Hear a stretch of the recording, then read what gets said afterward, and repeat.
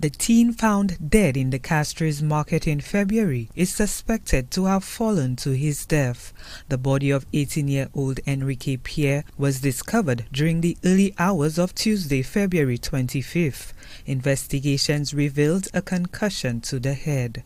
A post-mortem examination has been concluded and the cause of death is pulmonary edema secondary to neck compression due to traumatic head injury from a likely fall from a height.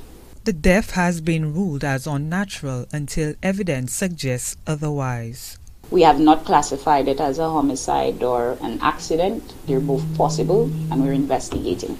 At a point where more evidence to indicate which of the two it is comes out, we'll be in a position to give an update. Enrique Pierre was well known to law enforcement officials. He was involved in a stabbing incident in August 2019. Investigations are ongoing into the death of the 18 year old. Gina Filippi, HTS News Force.